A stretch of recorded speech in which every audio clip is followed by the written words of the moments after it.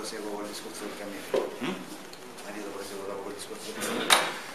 Beh, eh, ciao a tutti. Eh, L'argomento che trattiamo stasera è abbastanza eh, noto eh, perché tutti sanno che a breve, il 4 marzo, ci saranno le elezioni e quindi tutti hanno qualcuno che gli suggerisce vota questo, vota quell'altro, addirittura mentre venivamo qui qualcuno ci ha telefonato vota questo, ma come a noi ci, ci dici questo? Cioè, questo è un affronto assolutamente eh, diabolico proprio, no? Allora, perché abbiamo fatto eh, questa scelta? Abbiamo fatto questa scelta perché appunto, come diceva un attimo fa Andrea, noi seguiamo l'andamento geopolitico eh, e storico sia per quello che riguarda il passato sia per quello che riguarda l'evoluzione presente, proprio perché per fare un'analisi geopolitica occorre sapere che cosa è successo prima, perché come diceva qualcuno, se non conosci il passato eh, non puoi determinare il presente e meno che mai il futuro. Quindi eh, occorre, è, è, ineludibile cercare di eh, avere un panorama chiaro per poter poi sviluppare anche dei, dei progetti, delle, diciamo, creare delle prospettive, creare anche una, un percorso e quello che oggi noi stiamo facendo qui è una prima tappa di un percorso che ci porterà abbastanza lontano. Eh, quindi ecco, eh, c'è da tenere presente che la maggior parte della gente oggi, eh, come diceva appunto un attimo fa per altro verso Andrea, non ha la minima idea della sua partecipazione perché partecipa a una vita sociale vanno mai spiegato a scuola perché uno deve socializzare, eppure ci sono dei motivi, ne abbiamo parlato anche prima, però nessuno, io non mi ricordo che a scuola mia, che avevo pure anche dei buoni professori, fosse mai stata eh, diciamo, identificata un'analisi approfondita su questa situazione, su questo argomento. E quindi noi eh, siamo come dei guidatori che guidano l'automobile la, senza aver mai fatto un giorno di scuola guida. È chiaro che poi succedono queste cose, è normale, perché se un popolo avesse saputo che il 18 novembre del 2011 c'è stato un colpo di Stato macroscopico, proprio assolutamente plateale, e nessuno ha detto niente, quel testa di cazzo di, eh, di, di, di, di, coso, di, Giorgio Napolitano, che l'abbiamo denunciato sette volte, sette volte, per, diversi, per sette eh, scenari di, reati immani, no? ed è lì, addirittura si è fatto la replica del mandato di due anni con certo punto ho detto oh, vedi andare a fanculo scusate l'espressione ma così ci vuole e, e, quindi ecco il problema è questo. Noi non abbiamo una capacità consapevole condivisa collettiva. È quello il problema. E quindi subiamo poi queste angherie di questi cialtronasci che se fossimo un paese un po' me meno cretino tipo i francesi o meglio ancora gli svizzeri, come ci prova uno, a Roma dicevano, quando nel 504 a.C. Eh, mandarono via Tarquinio il Superbo e poi venne Brenno, no Brenno, Porsenna e, e, tutto quello che ne consegue eccetera, a un certo punto eh, fu creata la Repubblica e prim il primo articolo della, della, della, Costituzione repubblicana di Roma, che poi fu scritta 200 anni dopo circa, però era quella, era tramandata oralmente, era il primo che cerca le fasse re va ammazzato. È chiaro? È chiaro? E questo dovrebbe essere il primo argomento. Allora, no, faccio un altro, un altro esempio nella Costituzione dell'anno primo, del 1791, 93, eh, fu eh, redatta la Costituzione appunto e cioè aveva 35 articoli. Gli ultimi 5 o 6 articoli erano tutti su quel tenore lì, cioè se qualcuno cerca di prendere il potere contro il popolo va eliminato istantaneamente. Faccio ancora un altro, eh, un altro ricordo, nel 1947, durante la, i lavori della Commissione Costituente in Italia, ci fu eh, il signor Aldo Moro e Giuseppe Dossetti, che poi fecero entrambi una brutta fine, perché uno fu ammazzato e l'altro fu rinchiuso dentro a un'abbazia, così non rompeva troppo le scatole, e loro avevano scritto, cioè nei verbali della Commissione Costituente, che appunto andava inserito nella Costituzione, quella attuale, quella che abbiamo noi oggi, che andava appunto eh, perseguito il potenziale tiranno o fazione tirannica che avesse preso il potere eh, nella, in Italia. Tant'è che c'è un articolo della Costituzione proprio, l'articolo 54, che dice che il popolo ha il diritto dovere di tutelare la Repubblica e c'è una legge che è la 378 dell'83 che è il testo unico per le forze armate che dice all'articolo 3 e 4 che le forze armate devono giurare fedeltà alla Repubblica non al governo o alle istituzioni, al senso della Repubblica in senso ampio. E le polizie e i corpi armati quando avvenne appunto il 18 novembre del 2011 questo colpo di Stato, noi li abbiamo avvertiti, abbiamo, siamo andati a parlare col comandante generale dei carabinieri e non ci ha ricevuto sto stronzo, colluso ovviamente, d'accordo anche lui. Quindi questo per dire che noi ce l'abbiamo messa tutta, in ogni occasione che si, è verificata. Ne ricordo ancora un'altra, il signor eh, Topolino Sottile, quello che si chiama Amato ma lo chiamano dottor Sottile, o Topolino, eh, carina questa, eh? questo signore, spero che ci ascolti, che veda questa, così mi denuncia per diffamazione e poi andiamo a vedere perché, io lo, lo, lo cito adesso. Questo signore nel 1961, quando era ancora il signor Nessuno, ma era già pagato da chi sappiamo noi, perché se li si allevano, come Prodi per esempio è stato allevato e quando si è laureato è andato a fare il master a, in Inghilterra al, uh, adesso non mi ricordo più l'università qual era, a Cambridge, pare Cambridge, eh, era Cambridge, è andato a Cambridge eh, e lì lui fece questo, diciamo, questo super dottorato, dopodiché fu richiamato a Roma, eh, a Bologna e tralasciamo che cosa ha fatto che è troppo immondo raccontarlo e poi troppo lungo, non merita tutto il mio tempo eh, che, che, che, dovrei dedicargli, quindi assolutamente. Però questo per dire che lui nel 61, eh, il dottor Sottile, raccontò, eh, l'ho citato in varie occasioni, che appunto andava sovvertito chi cercava di sovvertire l'ordine repubblicano, l'ha detto lui, poi nel 91 quando è andato al potere col cavolo che se ne è ricordato, perché in quel momento lì, come ha fatto anche Grillo, come ha fatto anche il signor Tonino Di Pietro, che quando devono emergere, che fanno? Fanno i populisti. Ah, basta il suo governo, basta questi disgraziati, tutti collusi. No, come noi adesso, solo che noi non abbiamo nessuno che ci ha mai pagato perché dobbiamo andare in giro a raccattare le cicche per poter andare a fare queste, queste, queste, eh, queste conferenze, questi incontri, perché eh, giustamente le, le risorse che abbiamo noi sono quelle che ci avete voi, né più né meno. E quindi eh, non abbiamo alle spalle i Rothschild, i JP Morgan, eccetera, come hanno questi. Come, come, anche Beppe Grillo, Beppe Grillo c'ha Sassoon che è il nipote di, di Rothschild, nipote proprio, fra l'altro pure pari d'Inghilterra, il signor Sassoon che fa parte del collettivo, del direttivo dei, dei grillini, così insomma tanto per dire un po' di informazioni. Se non ci arrestano stasera non ci arrestano più, allora continuiamo, vai. no, se, ne racconto ancora, cioè se volete, lì c'è il mio libro sempre a disposizione, eh? lì racconto un bel po' di cose di più di quello che posso dire, che sono 300 pagine di... Eh, cioè, ricordalo, ricordalo il libro qual è, adesso siamo ah, certo, eh, arma letale, ovvero cambiare sociale, dove appunto esamino tutta una serie di punti storico-geopolitici a partire eh, da, da, da uh, Assurbanipal addirittura e poi arrivare ai giorni nostri gradualmente e anche prospettare che cosa ci aspetta. E allora tutto questo diciamo, lungo prologo per uh, arrivare appunto del perché siamo in queste condizioni. Eh, siamo in queste condizioni e questi signori, faccio riferimento a quello che aveva già detto appunto Andrea, abbiamo della gente, eh, dunque il governo Berlusconi ah, il 21 dicembre, guarda caso il 21 dicembre, il, il, giorno del, del, del, grande dio che sappiamo chi è, no? Eh, il dio Mitra, il dio Orione, il dio Siride, è sempre lui. Ci sono 13 dei che rappresentano la, il, il, solstizio d'inverno eh, ed è fra il 21 e il 24, 25 anche.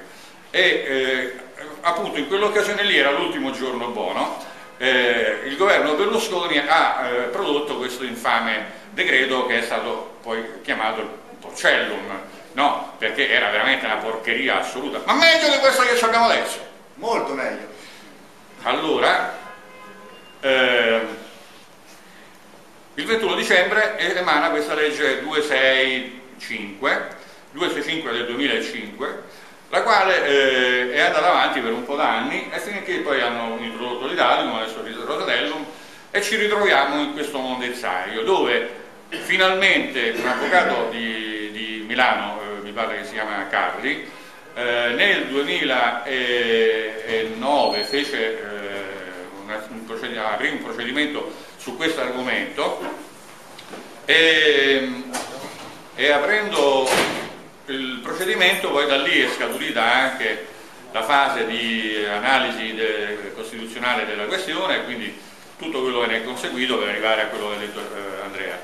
Ma eh, la cosa in, diciamo, che andava detta è che le leggi non, di un governo illegittimo in cui non c'è più la, la possibilità decisionale da parte del cittadino di scegliere il suo candidato ma è scelto dalla segreteria di partito, quello è una limitazione assoluta del diritto elettorale, no? sia del diritto elettorale passivo che quello attivo, no? cioè quella di essere proposto, io per esempio potrei propormi come, come eh, candidato, ma a me non accetterà mai nessuno, perché lo sanno che io penso davvero quello che dico e, e dico davvero quello che penso, e non come loro che raccontano delle boiate assolute e poi ovviamente hanno un loro bel proge progetto o eh, diciamo, opportunistico no? e quant'altro. Allora, quindi noi ci ritroviamo in un argomento eh, così delicato, in una situazione così difficile, proprio perché c'è questa impreparazione di fondo dovuta all'ignoranza assoluta della stragrande maggioranza della popolazione,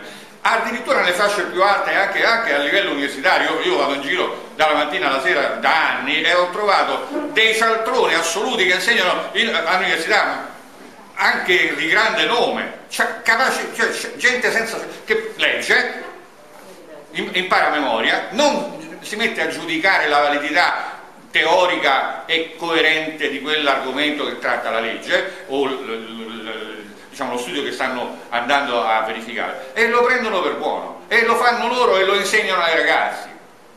Delle cazzate assurde, eh, innominabili addirittura ogni tanto mi ci scontro con questa gentuccola è veramente infame cioè scappa, fugge quando gli dici va bene allora quello è quello che dico eh, allora, come analizziamo? Da, allora, posto per ipotesi che che cosa si ottiene? Spacca, scappano e non sono, non sono stati abituati.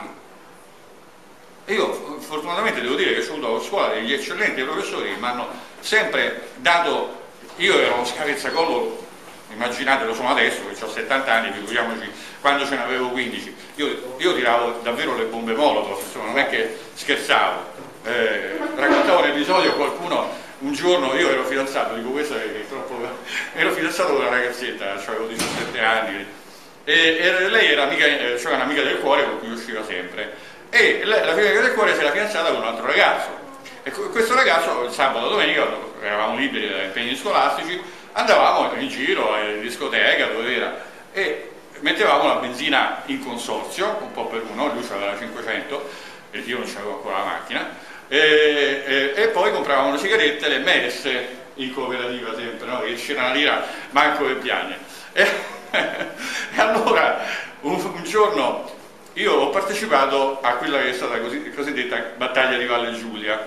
Eh, noi eravamo asserragliati nella, nella, facoltà di architettura che sul lato, andando verso il centro, sul lato sinistro, al centro c'è il vialone dove c'è la ferrovia, anche no, le rotaie del tram, e dall'altra parte c'erano i celerini, ma tanti, noi eravamo 5.000 loro ah, più o meno, eravamo proprio tanti, ma tutti belli, diciamo, eh, dotati di strumenti di, di, di, di, di, di, di, di content, per contenderci. A un certo punto arriva la carica, noi rispondiamo e c'era uno che menava un celerino, io giù, botte, botte, lui, botte, io. A un certo punto sento, Razio! Dico, ma chi? Poi guardo, vedo che lui Dice, ma che cazzo stai a fare? Eh, Insomma, era Ciro Panico, adesso commissario di polizia, che ci menavamo, lui era l'amico fidanzato della mia, della mia fidanzata, cioè il fidanzato dell'amica della mia fidanzata, e ci menavamo da dieci minuti a sprangate giubbotte. Questo per dire, insomma, no? Però allora c'era passione, c'era sentimento, c'era con, diciamo, collaborazione, coesione, fiducia. E invece eh, oggi non c'è più niente. Questo è il disfacimento voluto, non è casuale. Cioè il fatto che non insegnano nelle scuole più le due ore di educazione civica e l'hanno tolta completamente, già due ore fanno ridere, no? E, e, dovrebbe essere la materia principale, tutti i cittadini, qualunque attività facciano, devono comunque stare insieme, devono comunque collaborare, devono comunque contribuire al, al, al miglioramento della nazione, della società, eccetera.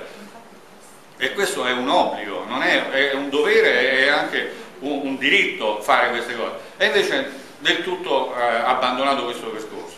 Quindi noi oggi qui da anni facciamo, quello che, che, cosa facciamo? Cerchiamo di far capire alla gente le cose che gli servono, informazione, informazione.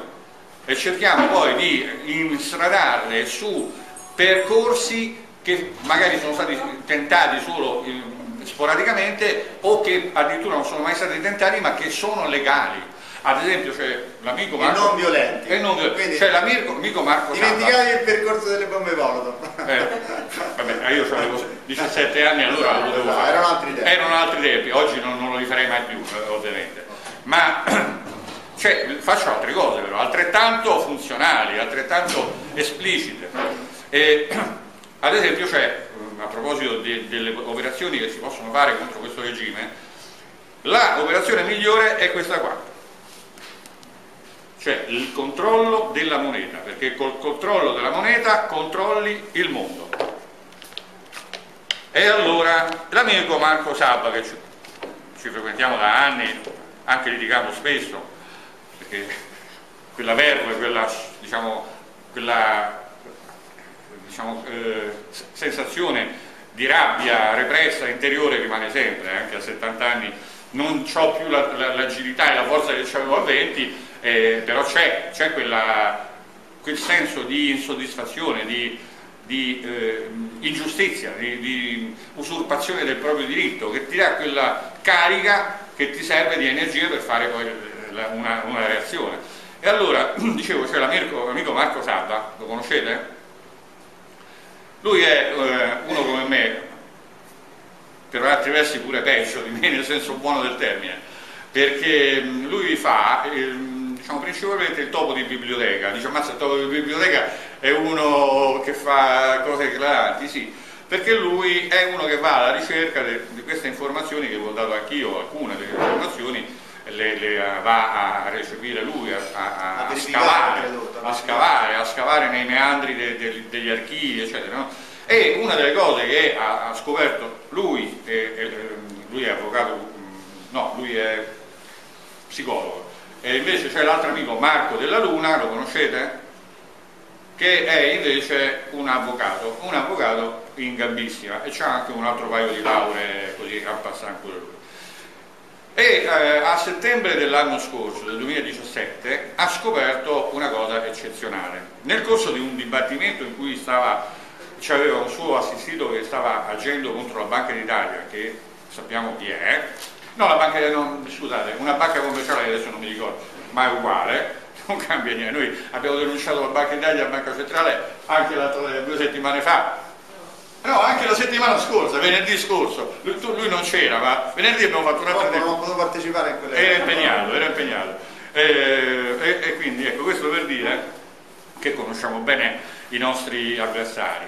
E in quell'occasione lì durante questo dibattimento c'era un consulente ufficiale della Banca d'Italia che diceva, eh, a seguito di una serie di domande del giudice, praticamente diceva, allora il contendere era questo, eh, noi ci occupiamo anche di questo, soprattutto anche di questo, il contendere era che eh, c'era ehm, una ehm, diatriba fra questa società eh, che era, mi pare, un'auto un autosalone, se mi ricordo bene, una SRL di, di una, diciamo una, società che gestiva un autosalone. E eh, in questo autosalone aveva preso dei mutui in banca e questi mutui in banca, c'era tutta una storia insomma, troppo complicata, non entro nel dettaglio, e fatto sta che l'avvocato Marco della Luna diciamo, eh, addebitava a, alla controparte il fatto che, e questo vale per tutti, il codice civile è lì, non è che sparisce, il codice penale è lì, non è che sparisce, i codici esistono e, e sono il risultato di 2000 e passa anni di storia di, del diritto. Quindi non è che stanno lì per caso e, sono fatti in quel modo per caso, stanno lì perché devono essere fatti in quel modo perché devono essere, diciamo, devono circoscrivere, de, delineare, definire la realtà in tutti i suoi vari aspetti attraverso delle norme certe e soprattutto coerenti tra di loro. E allora, insomma, lui diceva un fatto banale che però le banche hanno stravolto, e cioè che la banca, quando tu vai a chiedere un mutuo, fino a un 20-30 anni fa ti dava, io mi ricordo che ci andai, mandai la mia bella 24 ore e mi dettero 60 milioni liquidi e era un bel pacchetto di soldi, insomma erano varie, varie mazzette di soldi che ho messo nella mia bella 24 ore me la tenevo bene stretta perché oggi questo non avviene più. Allora tu hai un mutuo da 60.000 euro, per esempio, ti dicono sì, va bene, allora guarda, ti, ti, ti, ti, guarda, ti ho trasferito i numeretti sul tuo conto. Quello non si può fare. Sono fittizi. Non si può fare, perché poi tu da me, se io non ti ridò il tuo mutuo, da me vuoi la casa, che quella è vera, non è un numeretto. È chiaro?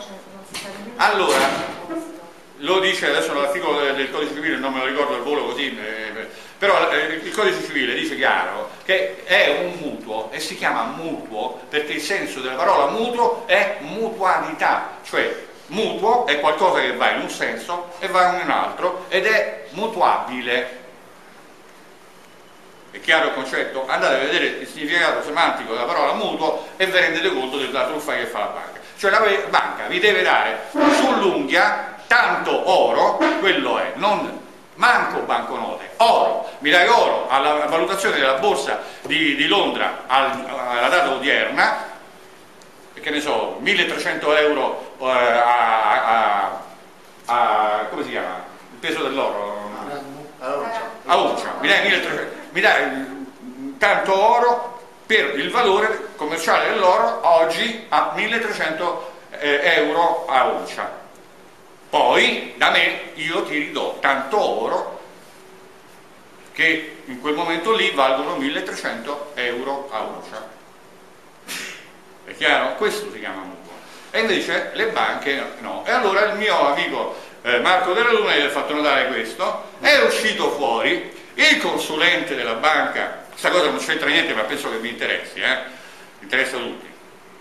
Questa notizia è una notizia esplosiva, non lo sa nessuno, nessuno. Allora, praticamente il consulente della Banca d'Italia ha detto serenamente, ma è così che si fa, non è normato da nessuna parte e noi lo facciamo. Ah, ha detto Marco della Luna, ah cacchio, allora lo pure noi. E adesso è un anno che Marco Saba, insieme a Marco della Luna, ma della cosa si sta occupando Marco Saba, eh, sta facendo i, i, i, coin, cosiddetti coin, mi ricordo come si chiama, non i, bit, non i bitcoin, un, un, un altro, noi coin, una cosa del genere, vabbè. Questo lo sapevi, Marco De come sempre, mi sorprendi sempre. Capito? Questa è la questione. Cioè noi oggi abbiamo al potere gente che crea i soldi dal nulla e te se compra casa che tu hai lavorato 50 anni per pagarla e te la ruba se, pure, e poi te, la, te, te le manda all'asta e le paga un quarto del suo valore. C'è un'amica ultimamente, un'amica collega nostra, che ha comprato una villa con un ettaro e mezzo di terreno a fianco al lago di Martignano, proprio fa, esce da casa e sta sul lago di Martignano, eh? Lago di Martignano 180 metri di casa e 15.000 metri di terreno l'ha pagati 78 milioni, eh, mila euro cioè ci compri il garage presa all'asta presa all'asta ovviamente? Vi sembra, vi sembra umano, vi sembra umanitaria una cosa del genere, vi sembra una cosa, eh, diciamo, ad che abbia una, una qualche... Milano qualcuno prese una villa più o meno nello stesso modo, ma già molto tempo prima. No, beh, no, adesso, lì proprio una pagata, proprio- proprio una pagata, eh, quello un altro proprio discorso. con l'infamia, era lì, ricatto, eh, lì, lì è fatto altro, Mamma perdere. mia, ecco. Cioè, Quindi questo per dire che la situazione attuale è diciamo, messa in questi termini. Questo è lo sconquasso creato, cioè il, il privato cittadino, umile cittadino è uno schiavo, praticamente non ha più nessun diritto. Le banche, le finanziarie, hanno le leggi per conto loro. Guarda, vi racconto un'altra cosa, vi interessa? Vi interessa? Allora, vi racconto la legge 130 del 99. Dice che è? Lo sapete? È una legge che va rovinata a tutti. Ci ha rovinato a tutti. Non lo sa nessuno. Queste sono le cose, la- l'isola dei famosi. Le buste di le- plastica, adesso le- che si sta scoppiando il casino delle buste di plastica, chi c'ha la ditta e chi non c'ha la ditta. Queste sono le cose che dobbiamo sentire ai telegiornali. Queste sono le notizie importanti. Avete mai la diatriba, Non- perché ci sta la ditta non ci sta la ditta, la ditta della chi fa la produce la busta di plastica deve fare la spesa. Parliamo di centesimi. Qua ci stanno rubando i milioni di euro. miliardi. I miliardi. Allora, ho- abbiamo fatto una denuncia quando abbiamo scoperto queste e altre cose. Nel 2010, abbiamo fatto il 21 giu- eh, giugno del 2010, abbiamo fatto una denuncia contro Banca Centrale Europea, Banca d'Italia e banche commerciali, eh, perché ci, no, questa è, stata- no, è stata una successiva, quella sempre abbiamo fatto verso le banche, ma era un'altra cosa. Era a settembre del 2011, o agosto-settembre del 2011, adesso non ne ricordo più, bene, eh, fa- facemmo questa denuncia per l'evasione fiscale da parte delle banche italiane di una cifra diciamo, oscillante fra gli 700 e i 1200 miliardi di euro l'anno Miliardi. l'anno, cioè in due anni potremmo, se non fosse pure falso il debito pubblico, potremmo azzerare il debito pubblico. E vanno a rompere le palle ai baristi che non emettono, la, eh, non da- hanno dato il lecca gratis al, al- al ragazzino che gli faceva con passione e io vanno a fare, chiude per tre giorni l'attività. Cioè siamo, vi racconto un'altra cosa, e questo è troppo bello. Allora, a seguito di queste denunce, alla fine un procuratore ha detto ma forse questi hanno ragione era, questo eh, procuratore era Emilio, Emilio Amelio è uno conosciuto uno che ha fatto indagini toste insomma questo qua ha detto forse questi hanno ragione vediamo un po' un attimino no?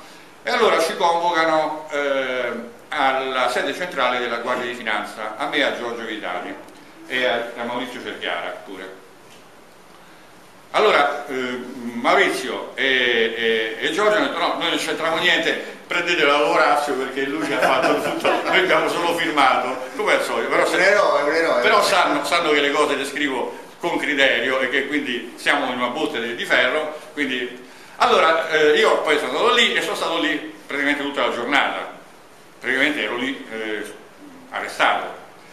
Come arrivo lì eh, c'era il tenente dell'ufficio, mi fa documenta, e io gli do il documenta e, e quindi eh, dice va bene, allora in estrema sintesi ci dice, allora tenete presente che aveva raccolto il procuratore un- una serie di denunce che erano circa 170 pagine di, di for- formato A5, A4 e era un fascicolo così e io me l'ho portato da casa, un altro fascicolo così dei documenti che, che ero lì da circa 350 pagine di roba, 400 pagine di roba.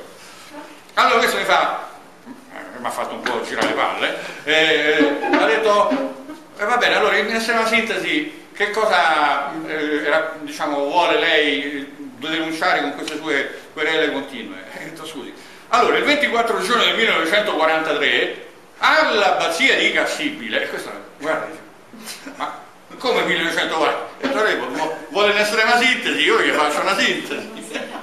Dice, ma lei, lei mi sta dileggiando? Io detto, no, no, no, io sto scrivendo, voglio che lei scriva. Dice, ma io quando fi- finiamo? Eh, è il tempo che ci vuole. Dice, no, allora, allora, eh, io mi diverto con queste cose. Allora dice, va bene, ehm, guarda, facciamo una cosa, ho detto, visto che lei eh, è così gentile e io sono disponibile. Diciamo che io vi do l'elenco già fatto di di questo materiale contenuto nel dossier che io vi eh, sto depositando in questo momento, lei fa semplicemente un verbale di ricezione dopodiché con calma lei se li legge, se li studia, mi ricontatta, mi telefona, mi convoca, quello che vuole, io sono qua a sua disposizione. E nel frattempo che stavamo lì, ah, alla fine poi ha fatto come ho detto io. Eh, poi c'è il seguito che vi dico. Però in quel momento lì è stato bello perché è stato simpatico, diciamo, perché mh, gli ho detto guarda, eh, allora qui stiamo facendo eh, diciamo, anche ricerca sul campo di quello che avviene davvero, no? e quindi del, dei reati che riguardano appunto la Guardia di Finanza, e ho detto scusate, ma voi, io ho detto, fatto, voi andate a multare il barista che non emette lo scontrino quando ci sono questi che eludono 1200 miliardi di euro all'anno. Dice no, beh ma sa, dico guardi io, queste sono le denunce, intervenite, se vedete che è vero quello che sto dicendo io, andate immediatamente a arrestate il governatore della Banca d'Italia, immediatamente, e tutto il, il direttorato, il, il direttorio generale. Ah, eh, ma questo... Invece no. Abbiamo l'ordine di non... Eh, abbiamo, abbiamo, si era messo a piangere un altro po'. Cioè era uno convinto militare che lo faceva per convinzione, per passione e si vedeva costretto a dover fare lustrascarpe al banchiere. Cioè siamo a questo punto. Allora questo faccio ancora un, attimo di, di proseguo un attimo per spiegare come è andata a finire poi la questione eh, e poi entriamo nel discorso qua. Cioè è andata a finire che eh, dunque questo era più o meno maggio, fine aprile-maggio del 2014 nel luglio del 2016, un anno e mezzo fa, mi arriva no, un atto di citazione di eh, eh, archiviazione di, eh, una, di questa indagine. A che con Giorgio dico, ma questa è una cosa seria, non ci possono annullare tutto un lavoro di anni per creare questo dossier e poi questi ci annullano eh, d'ufficio questa cosa andiamo alla Procura di Roma. Andiamo alla Procura di Roma e facciamo estrarre il, il testo del verbale del perché era stato archiviato. In estrema sintesi. Il tenente aveva capito e quindi ha detto sì, effettivamente emergono elementi di prova di reato e quello che dice Orazio Verniani e Giorgio Vitali è vero ma Beh, no, ce l'ho, eh, tutto, non è che racconto, io questi documenti ce l'ho. Eh, il suo superiore, cioè il tenente colonnello, sì, è vero quello che dice Ferniani, è vero quello che dice il mio tenente, ma siccome il Presidente della Repubblica e tutti i ministri citati in carcere su queste denunce sono dei perfetti idioti incapaci di intendere di volere, pure se erano nel pieno delle loro consapevolezze, non avevano l'esperienza e quindi non, non c'è il reato colposo. Il reato c'è, ma non possono essere perseguiti. Devo aggiungere qualcosa? Cioè, l'ha detto l'ispettore, il capo, il generale Dillo chi l'ha detto. No, aspetta, allora non ci siamo mica firmati lì. Abbiamo denunciato il tenente colonnello, abbiamo denunciato pure Emilia Medio e ora c'è il processo che andrà a finire che so dei perfetti. Allora, questa non la sapete, vi dico ancora questo. Lo sapete che il signor, il signor Matteo Renzi è stato ufficialmente riconosciuto come capace di intendere di volere? Eh? Lo sapevate? Da, da, allora, noi abbiamo fatto una denuncia, è, è partita da noi sempre, no, ovviamente non viene... Allora, eh, questo... Ora è di dominio pubblico, speriamo su Facebook, a meno che non ci cancellino anche la pagina di Walk of Change, visto che già ci hanno cancellato i profili. Eh, oddio, allora, un, abbiamo fatto una denuncia per, eh, contro Matteo Renzi, eh, per non mi ricordo che cosa, e, però l'aveva fatta prima di noi un, uno che ce l'ha morte con Matteo Renzi che è un ex impiegato o un impiegato del comune di Firenze. Eh? eh, non me lo ricordo come si chiama insomma uno che è incavolato nero con Renzi e che ha avuto anche dei riscontri eccetera. E insomma, praticamente la consulta, è stata la consulta, ha ufficialmente riconosciuto che quel, però ha detto che in quel momento il signor eh, Matteo Renzi non era capace di intendere volere, ma quando uno in un momento non è capace di intendere volere, io dubito anche degli altri momenti dopo, perché vuol dire che evidentemente c'è delle tarie, c'è dei problemi. Una, dico ancora solo una cosa, eh, allora, un'altra notizia che avrebbe dovuto fare una scalpore eccezionale, noi abbiamo denunciato tutti cioè, allora, la conquista dello Stato, la disgregazione dello Stato non è che avviene per caso, avviene andando a toccare certe leve. Le leve dello Stato in realtà non sono le cariche istituzionali, cioè i ministri, eh, i sottosegretari, i parlamentari, i senatori, no, sono direttori generali. Quelli stanno lì per 40 anni, sono loro che gestiscono lo Stato cambia il governo, cambia il colore del governo, non ne frega un tubo. Loro stanno portando avanti, che ne so, una trattativa con il Botswana e stanno cominciando a fare degli accordi economici col Botswana. Non gli frega niente di quale governo cambia o non cambia. E quindi vanno avanti, e loro, e loro sono loro che consolidano lo Stato o, o, o lo disgregano. E invece che cosa è successo? Che a partire sempre da date fatidiche fra il 91 e il 92 in particolare, ma partendo anche da molto lontano, ma in quel momento lì è, è emerso perché sono state fatte le leggi. Fatte, le, le leggi sono come dei mattoni, sono i mattoni che reggono la struttura dello Stato. Tu cambi un mattone che è fragile o che è tarlato e quello crea, solo non crea il crollo del palazzo, ma magari se ce ne metti 150 alla fine crolla il palazzo. Quello che sta succedendo. E allora abbiamo fatto tutta una serie di denunce, tante, tantissime, perché poi quando la gente sa che noi facciamo le denunce ci mandano ma vagonate, oramai mi arrivano vagonate le informazioni di reato, ma tante, proprio ogni tanto anche quello che abbiamo fatto con te era un materiale che mi aveva fornito uno dei nostri collaboratori che sta in un determinato posto e che sa le informazioni di prima mano. Eh, e quindi eh, abbiamo denunciato questo fatto, cioè che cosa era successo? Um, un amico intendente di finanza, intendente di finanza è come il prefetto, cioè è uno che conta, è uno, uno importante dentro lo, lo Stato. Ah, in Italia dei prefetti ce ne sono 110, no meno, in provincia sono 110, 110 prefetti e ci sono 110 intendenti di finanza. Adesso c'hanno un altro nome, l'hanno completamente no tralasciamo. E che cosa fanno questi? Gli intendenti di finanza sono quelli che controllano l'andamento dello Stato per la tutela dei beni dello Stato. No? E quindi i beni dello Stato sono il demanio, il demanio in tutte le sue forme. Cioè, il demanio praticamente doveva essere regalato. Che cosa hanno fatto? Hanno tolto di mezzo gli intendenti di finanza.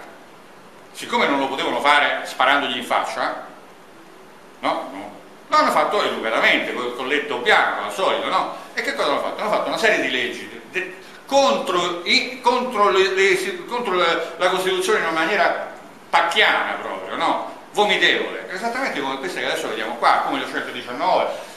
Una mare, cioè quella gente lì va messa impiccata, va impiccata al palo del pennone va impiccato, che quello è un tradimento, è un tradimento che una volta uno beccato con un sorcio in bocca come quello, si sparava, fino a, in Inghilterra, il profumo, ti ricordi, si sparò nel 50, era, 58, 56, una cosa di 60, adesso non mi ricordo più.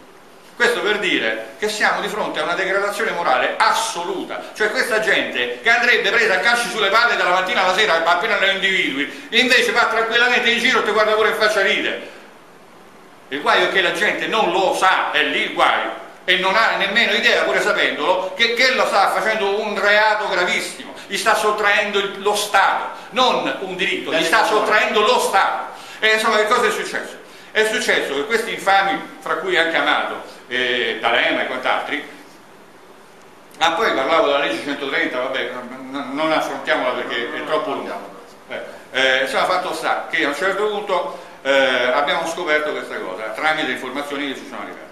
Abbiamo fatto noi e anche altri tutta una serie di denunce alle varie procure in giro per l'Italia, anche al TAR, anche in giro in altri tipi di tribunali, fino a che finalmente un anno e mezzo fa a, a questo, eh, un briciolo di informazioni tra filetto su questo è uscito, siamo riusciti a far condannare 867 direttori generali dell'ufficio delle entrate su 1200, cioè 867 erano venduti a, sapendo, consapevoli o non consapevoli, a JP Morgan che sta tentando da, da, da, da appena alla fine della guerra di comprarsi l'Italia, comprarsi, diciamo accaparrarsi l'Italia a nome suo.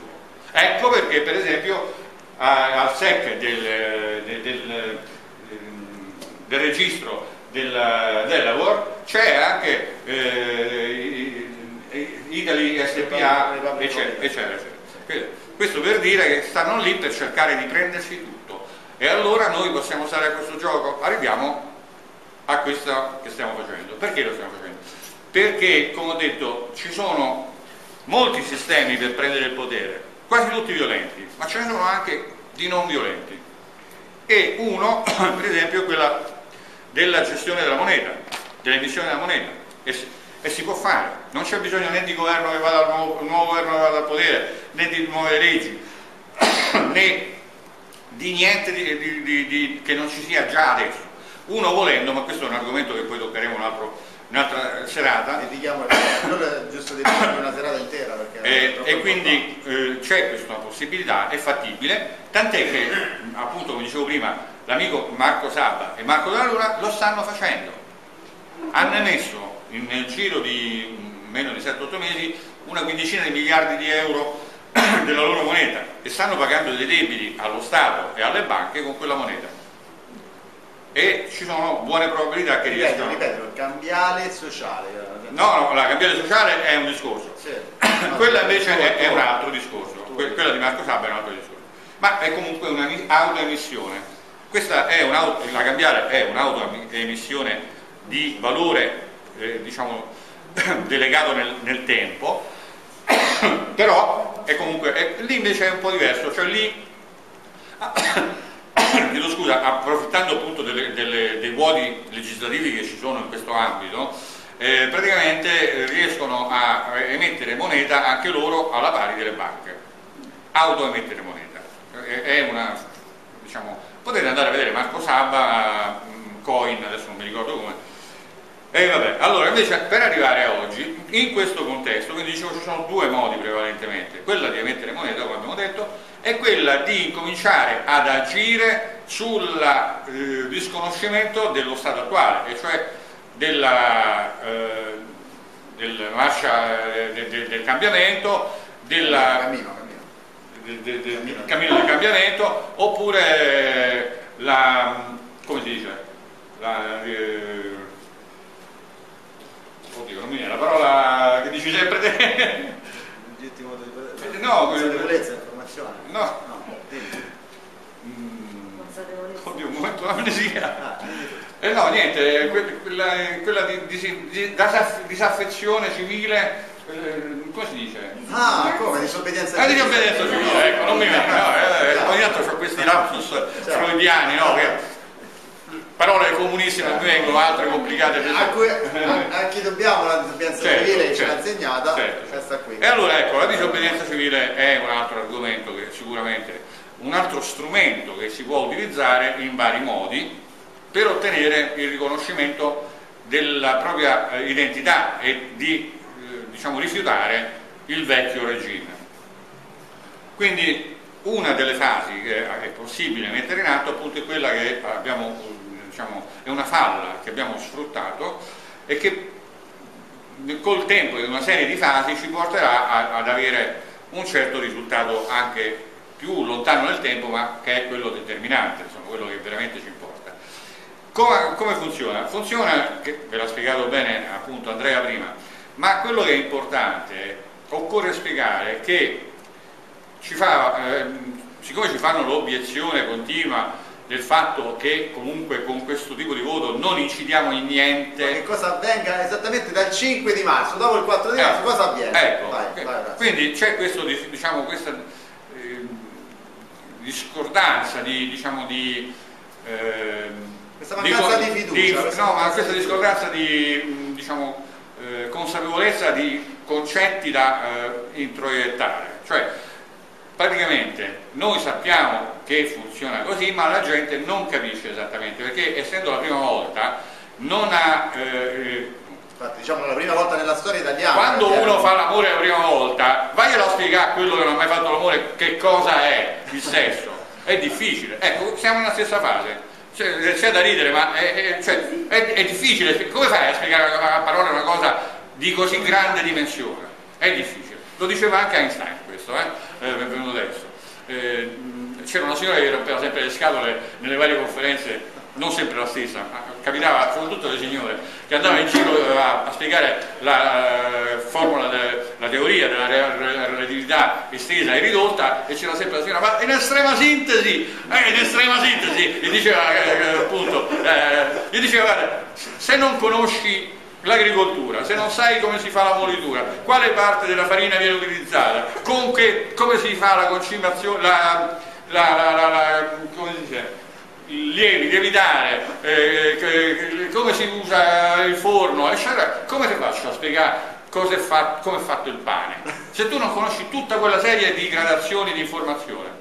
E quindi questo è, cioè noi oggi non possiamo andare a spiegare nel dettaglio esattamente, Ogni noi lo sappiamo, poi, ogni noi lo persona. sappiamo, ma la signora Cesira de Voghera non ci capirà mai, Non- è impossibile, non ha gli elementi, non potrà includere in un, in un contenitore un contenuto che noi gli mettiamo, non c'ha il contenitore, come fa a contenerlo? Ma perché sono stati abituati che devono avere l'informazione così che gli arriva già prodotto finito. Già- quello è il sì, già cotta e mangiata, Esatto. e, e digerita pure. Allora ecco, il discorso è che ogni azione, in senso diciamo generale, ha sempre non solo una finalità, ma decine, a volte centinaia di finalità, no?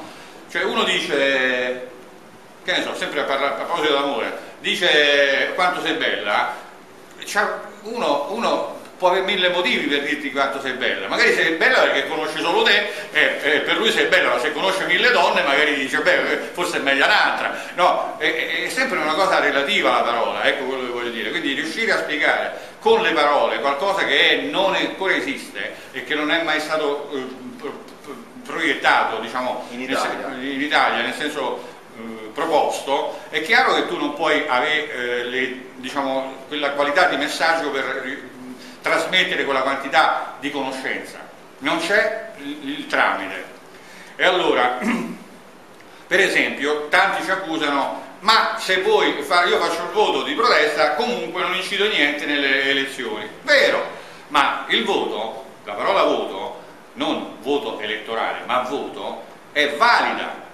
È- il voto elettivo non è valido perché poi nel, diciamo, Scusa, nel susseguirsi delle leggi con un sistema elettorale studiato non è valido, Certo, ma ma, per esempio nei, nei- nei consigli d'azienda, nei direttori, tutti votano e non è mica solo per ele- eleggere, delle volte fai il voto per eleggere, delle volte fai il voto semplicemente per, per- per dire il tuo parere su un argomento che sta in discussione.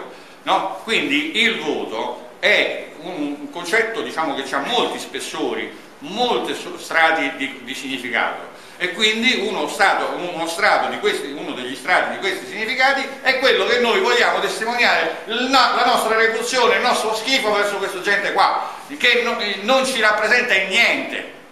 Io, io non mi ci cambio un'unghia con uno, uno di loro. ma a differenza di un voto normale richiede coraggio perché ci mettiamo i nostri dati, nome e cognome. La cosa importante è che tu vai nel segreto della, della cabina e scrivi stronzo, per esempio, nessuno, hai, hai annullato il tuo voto, l'hai- hai espresso il tuo il dissenso, la tua rabbia, ma non hai risolto niente. Viceversa, andando a, a- a depositare il voto di protesta, quello è un voto, non è elettivo, ma è un voto perché tu stai dimostrando pubblicamente il tuo schifo, la tua repulsione. Ecco che appunto c'è questa differenza.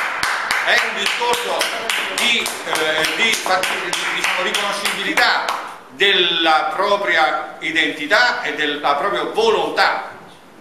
Cioè non puoi andare a- a- a- a intaccare una delle qualità identitarie più assolute, che è quella del voto, dell'espressione del mio parere in merito all'argomento che riguarda tutti i cittadini italiani. Io non mi rifugio nell'anonimato, io non mi rifugio nell'annullamento, eh, diciamo così, fantasmico, no? Eh, fantastico, diciamo, eh, no, fantasmico.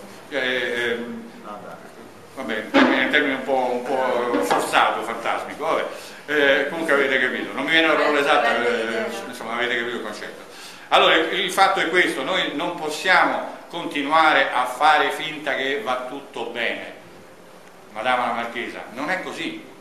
Noi oggi siamo qui a dimostrare che basta, non c'è più tolleranza. Noi, quelli che voteranno in quel modo lì, non siamo più disponibili ad accettare compromessi di nessun genere, ad accettare il compromesso votiamo il meno peggio perché tanto comunque sono uno più schifoso dell'altro e così via. Ma cosa importante diciamo Orazio, non siamo qui per convincere voi come non siamo qui per convincere nessuno, noi stiamo facendo un'opera di informazione che vi rende consapevoli dei vostri diritti, perché questo rientra nei vostri diritti. Poi chiunque voglia applicare un'informazione consapevole che dimostri che i propri diritti possono diventare qualcosa di pubblico, qualcosa che abbia voce rispetto ai nostri diritti, allora sarà libero di procedere e farlo, ma non vi stiamo convincendo come fanno i partiti e vanno in giro a fare campagna politica. Noi, Noi cerchiamo di farvi ragionare su degli elementi che vi diamo, esatto. diverso, molto diverso. Molto diverso, completamente opposto a quello che fanno quei signori lì e si professano politici,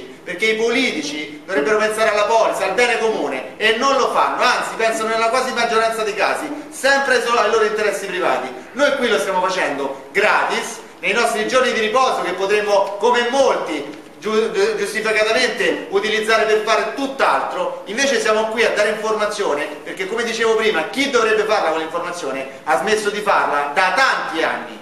E se siamo qui è perché vogliamo che quell'informazione continuate a farla girare voi nelle vostre case, con i vostri figli, con i vostri parenti, con i colleghi, con gli amici e con i, con i conoscenti, perché altrimenti questa informazione non potrà arrivare alla massa critica delle persone che potranno esercitare il loro diritto. Questo è quello che vogliamo tramandarvi e questa è l'informazione che vogliamo darvi. No, ma poi tanti ci obiettano anche, ma eh, io ci devo mettere la faccia, io rischio e poi magari mi fanno le ritorsioni, magari mi minacciano, ah, mi mi, non mi fanno partecipare a un concorso pubblico.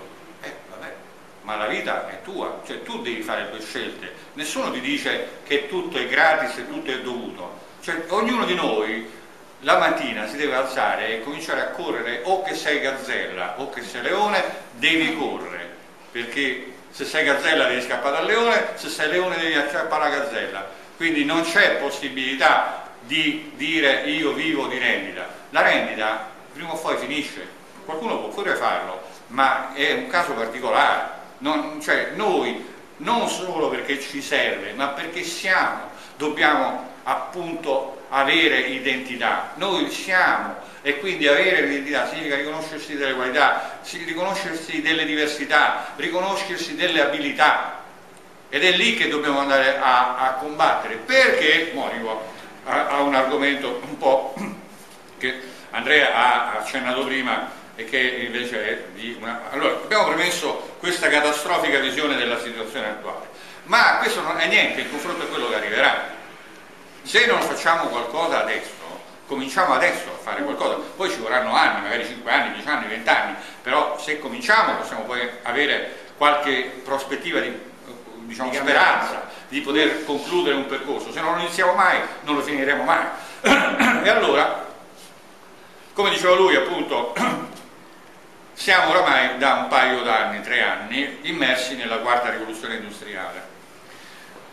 Quando Adam Smith fece le sue teorie filosofiche che oggi fanno ridere, ma all'epoca avevano fondamenta, eh, delle fondamenta solide su quella che era la società, perché la filosofia è basata anche sulla concretezza, sui rapporti sociali, sulla, sulla, su, su, tanti elementi reali, non solo eh, astratti. E quindi la sua analisi eh, diciamo, filosofico-finanziaria, eh, economica, era basata sull'economia dell'epoca. Oggi noi viviamo, eh, ah, ecco, no, eh, quindi era la, la, prima rivoluzione industriale praticamente, gli albori della prima rivoluzione industriale. Le successive rivoluzioni, la seconda e la terza, semplicemente, mentre allora l'uomo primitivo, cioè fino a che non, eh, diciamo, quello che viveva anche in, in epoca medievale, anche rinascimentale, eh, viveva secondo delle regole diciamo, di sopravvivenza pura, cioè si costruiva una baracca con le, le foglie, con i rami, con, con le canne e quant'altro, oppure in muratura con lo fango e così via, e si creava diciamo, un tetto sulla testa per lui la famiglia e poi andava coltivando qualche corticello, qualche cosa così, insomma normalmente era quello per il fabbisogno della famiglia o poco più. E quindi lavorava di media, ascoltate, tre ore al giorno. Quante ore lavoriamo noi oggi? Eh? Lavorava tre ore al giorno. A un certo punto è arrivata la rivoluzione industriale e lì tutti a lavorare perché bisognava guadagnare perché sennò le, le, le, la richiesta di prodotti agricoli da parte della società più ricca non avrebbe fatto avere sufficienti eh, elementi per nutrimento per le classi meno povere, quindi tutti a correre a lavorare. Per i bambini, tutti. E Charles Dickens racconta nei suoi romanzi, tanti romanzi, io l'ho pure tradotto, eh, un paio, l'ho tradotti quando andavo a lettere, e, e, e c'era appunto questa eh, diciamo, necessità di questi queste corse, no? questi, eh, per uscire dal, dalla, dalla, difficoltà economica occorreva e, e c'era questa prospettiva rosea del futuro, già Charles Dickens vedeva sempre tutto rosa, nel senso Art Times e così via, insomma tutte queste eh, diciamo, eh, prospettive eh, di, crescita. di crescita ottimistiche. Ed era vero, era vero perché questo, se uno ci sapeva fare, lavorava qualche ora in più e magari mandava pure i figli a lavorare a 5 anni in miniera e così via, eh, comunque in qualche modo riusciva a, a sfangarla e a vivere anche un po' meglio con qualche mobile dentro casa, che prima magari aveva solo un tavolaccio e quindi aveva comunque questa incentivazione che era embrionale ma era già un inizio. Insomma, no? E allora prima rivoluzione. Arriva la seconda rivoluzione e cosa è successo? Dio, tutti oddio adesso che sa che succede, non è successo niente perché quello che faceva il fabbro ferraio è diventato il carrozziere, è diventato il meccanico e quindi ha mutato la sua, leggermente la sua attività ma quello più o meno faceva e si creavano sempre più posti di lavoro perché si espandeva l'economia, c'era maggiore richiesta e così via, quindi sempre ottimisticamente. Attorno all'inizio degli anni 50, con l'inizio della, della, seconda guerra mondiale, diciamo con, oddio adesso non mi ricordo come si chiamava, eh, eh, c'era un, una legge emessa da, da, non mi ricordo se era Roosevelt, adesso vabbè, mi pare che era Roosevelt, nel 1932 emise questa legge per cui c'era questo ottimismo per uscire fuori dalla crisi del 29, insomma faceva tutta una serie di, di diciamo, annunci per cercare di convincere la gente ad affrontare con serenità e speranza il futuro. E quindi eh, anche lì, eh, terza rivoluzione industriale, con espansione dei consumi, con espansione del marketing, con espansione... e oggi siamo nella fase terminale di questa fase. Però siamo anche alla fase iniziale del, del quarto, eh, ne ho soltanto una, vabbè, ma eh, siamo alla fase terminale e all'inizio della quarta fase, della quarta rivoluzione industriale. Questa quarta rivoluzione industriale prevede però una cosa grave, molte cose gravi. Primo, l'automatizzazione spinta che c'è in questi anni, poi ve la racconto breve, faccio un esempio molto breve, costringerà, eh, cioè da una parte la competizione internazionale eh, fortissima, spinta fino all'inverosimile, costringe gli imprenditori a dover ridurre i costi di produzione al massimo e quindi alla diciamo, modifica delle eh, lavorazioni non più con eh, manuali o eh, comunque impiegati o professionisti umani ma con questa forza lavoro automatica, meccanica. E quindi noi ci troviamo di fronte a questa quarta rivoluzione che come prospettiva ha nel giro di massimo una quindicina d'anni il fatto che praticamente l'uomo non lavorerà più e potrebbe essere anche un grande sogno avverato, cioè non essere più costretti a lavorare per ottenere la sopravvivenza e anche una certa qualità di vita. E invece oggi la situazione è proprio in direzione completamente contraria, cioè oggi le aziende, allora dico questo, entro uh, due anni, due, il 25% dei lavoratori cinesi sarà senza lavoro. Immaginate, due anni. Quindi due anni noi ci ritroveremo con circa 300 milioni di cinesi che non lavorano più. Cosa faranno 300 milioni di cinesi che non lavorano più? Eh? Una bella domanda, eh? E noi andremo un po' più in là, ma non di molto. Perché? Ecco il perché Job Act, per esempio, che ha formalizzato un dato di fatto, cioè praticamente la gente non deve costare, il lavoro non deve costare. Arriveremo al punto di, così estremo di, di, di, automatizzazione e soprattutto robotizzazione, addirittura stanno studiando le puttane robot, ma sono già quasi pronte. Questo per dire, e c'è un robot che addirittura, secondo dell'espressione del viso, le, sa che cavolo pensiamo noi. Ma stiamo parlando e già c'è, eh? purtroppo già ci sono già queste cose. Sono prototipi, ma già ci sono. Non è che vi racconto, io sono abbonato a una marea, marea di riviste informatiche e inerenti alla ITC in generale e queste notizie mi arrivano tutti i giorni. Quello che sto dicendo è banalità. Sì, Magari già... Eh? Le sensazioni, come fa a, a, a elaborarle eh, no, guarda, nel dettaglio non te lo dire. Ci sono esperti di comunicazione, però, però parlo, qui, parlo qui di macchine, ci sono esperti della comunicazione che rispetto a, alle tue eh, movenze facciali, quindi studiano le, le movenze facciali, loro riescono già a definire se tu stai dicendo una cosa vera o falsa. Ok? Questa è una cosa Anche interpretare i tuoi propri nel momento in cui l'espressività viene studiata nel dettaglio da una macchina, la macchina riesce già a capire quello che tu stai dicendo prima.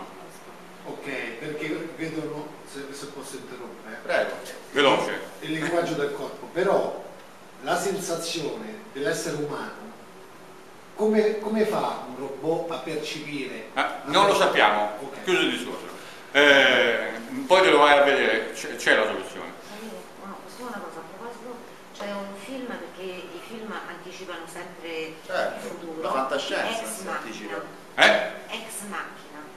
Ex macchina. Andatevelo a vedere. Ah, guarda, io, io, sono un uh, lettore uh, malato di fantascienza da quando avevo 10-11 anni. Bellissimo. Avrò letto circa 1500 libri di fantascienza, ma forse qualcuno in più. Eh, eh, eh, sì, sì, sì, lo, lo conosco, l'ho pure letto. Eh, no, il film. Allora, stavo dicendo, non mi ricordo più.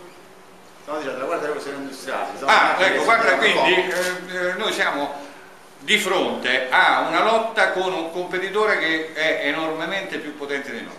Cioè gli androidi che saranno creati entro a livello eh, industriale, nel senso prodotti industrialmente e che si riprodurranno da loro industrialmente, in cui l'uomo non interverrà, cioè loro si cloneranno e si riprodurranno esattamente.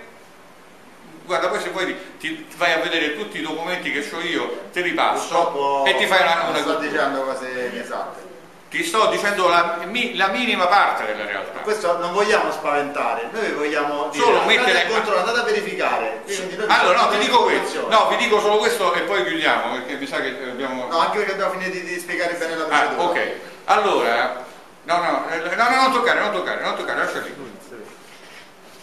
Eh, oddio, eh, che dicevo? Mi ricordo. Ah, gli androidi, noi siamo sul punto, e entro breve, saremo in competizione con le macchine, cioè non è più il fabbro che diventa carrozziere. Qui noi abbiamo come antagonista un eh, essere, una nuova eh, società senziente, una nuova eh, etnia senziente, un genere senziente che sarà più abile di noi in tutto.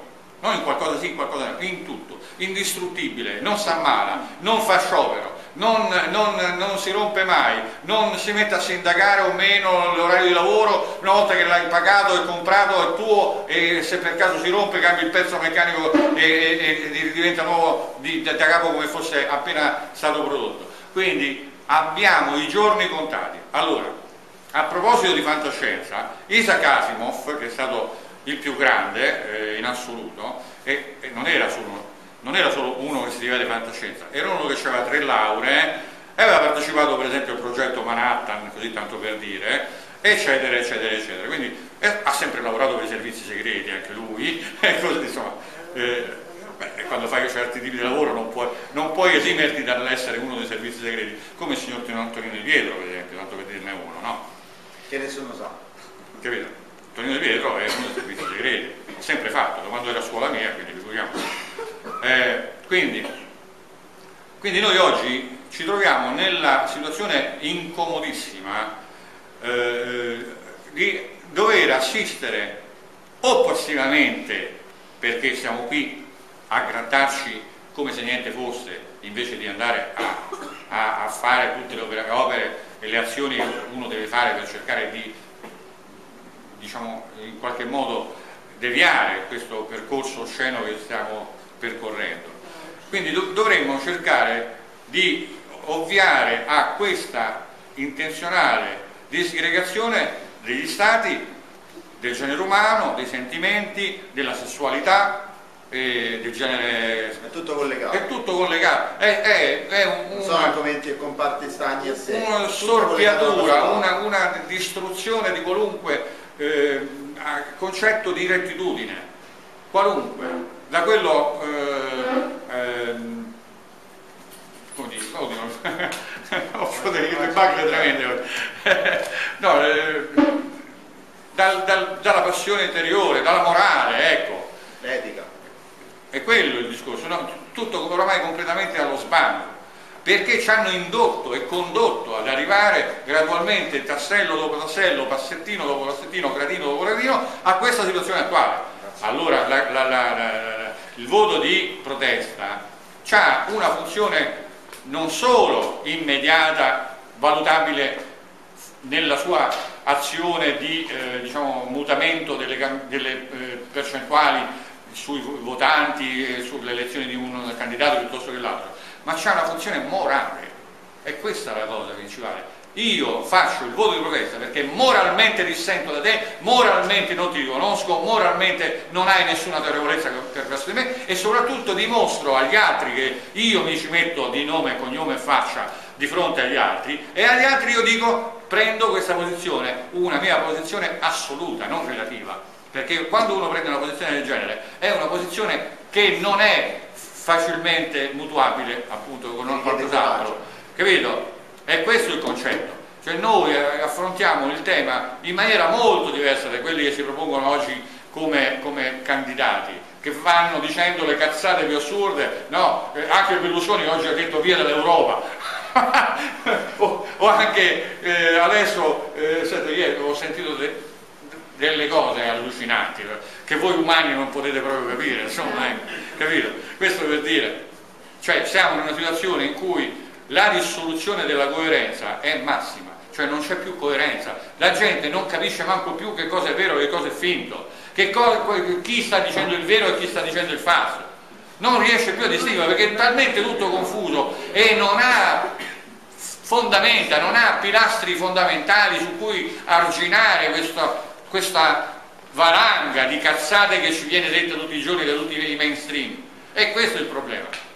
E quindi noi dobbiamo ricominciare a rinsaldare quella capitale sociale che ci deve riunire fra di noi attraverso l'animo, attraverso la morale, attraverso questi principi solidali, questi principi che ci devono far contribuire al benessere collettivo. Ricordiamoci sempre che la polis è stata costituita per difendersi dagli attacchi del nemico, per aiutarsi nel momento in cui c'è bisogno di lavorare in 10 persone e non posso fare quel lavoro lì solo io, deve esserci altra gente che mi aiuta e una volta lo facciamo per lui, l'altra volta dopo. Io mi ricordo quando ero bambino, che abitavo qua a Pontinia, io sono nato a Pontinia, e, e mi ricordo che non c'erano gli operai braccianti, i vicini quando si trebbiava andavano tutti a casa di uno, lo, eh, trebbiavano per tre giorni con grandi pranzate, balli sull'aia, eccetera, era un divertimento eccezionale. Io mi ricordo ancora, avevo 4-5 anni, e poi la settimana dopo si andava dal vicino, si trasferiva armi a bagagliere e così andava avanti fino a tutte le lavorazioni. La solidarietà. Capito? Fino, io mi ricordo fino agli anni 60-65 questo si faceva. Oggi vai a dire alla gente, oggi devi, devi fare una cosa, eh, ma quanto mi dai? Ma come quanto mi dai? Se il mio vicino va a fanculo. Scusate. Ma molti ci hanno eh. posto la domanda, ma voi perché lo state facendo? Ma cosa ci guadagnate?